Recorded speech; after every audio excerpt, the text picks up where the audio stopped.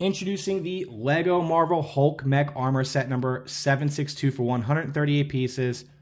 This set was actually released January 1st, 2023. I just now picked it up. This set was released for $15. I'm catching up on all the mechs here. As you can see, he has this piece here that just kind of falls right out. Um, if y'all are new here, please slap that subscribe button. I've become a big fan of these mechs at this stage. As y'all can tell, I've been buying a ton of them here. Um, we got the set for $12, which I think is a fair deal for what you get here. I like the minifigure here. I like the purple and the green. It looks really good. He's got his happy face. He's got his mad face. Remember, Hulk is always angry. So we'll say it's his angry face there.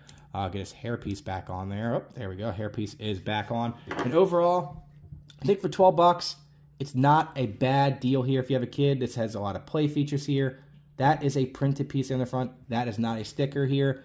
The, uh, the legs can move around. Has a lot of play features here. The feet move. The hips swivel. The arms move.